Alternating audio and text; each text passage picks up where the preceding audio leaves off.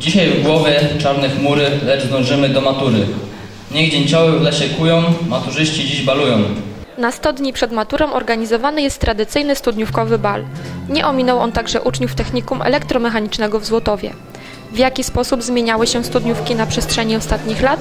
Kiedyś te studniówki odbywały się w salach gimnastycznych. E, Młodzież, e, no panowie zawsze byli ubrani w garnitury, ale dziewczynki miały granatowe spódniczki, białe bluzeczki, a teraz to niestety przeniosło się do lokali i widzimy jak piękne stroje mają dzisiaj, jak pięknie wyglądają, ale już po prostu ten szkolny e, charakter został zatracony. Okazuje się, że dobre przygotowanie do studniówki to nie tylko garnitur i buty. Przygotowywaliśmy się całą klasą, po kolei tańczyliśmy, tam sobie na WF-ach ćwiczyliśmy poloneza.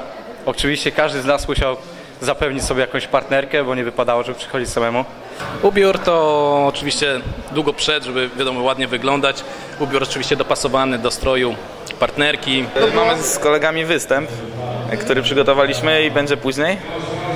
To jest taka niespodzianka dla nauczycieli. Jak wszystko co dobre i studniówka szybko się kończy. Po studniówce no, zacznę chodzić na korepetycje i tak i tam. Teraz się przygotowuję już też, wcześniej troszkę. Jakieś korepetycje zawsze, dodatkowe lekcje. Myślę, że warto. Tych braków e, każdy ma jeszcze sporo i jeżeli by się tak uczciwie wzięli do pracy, to zdawalność egzaminów maturalnych oraz zawodowych byłaby na pewno dużo, dużo większa, a być może nawet stuprocentowa. Także bardzo bym tego chciała. Wszystkim tegorocznym maturzystom, a w szczególności tym z technikum elektromechanicznego, życzymy połamania długopisów oraz wszystkiego co najlepsze.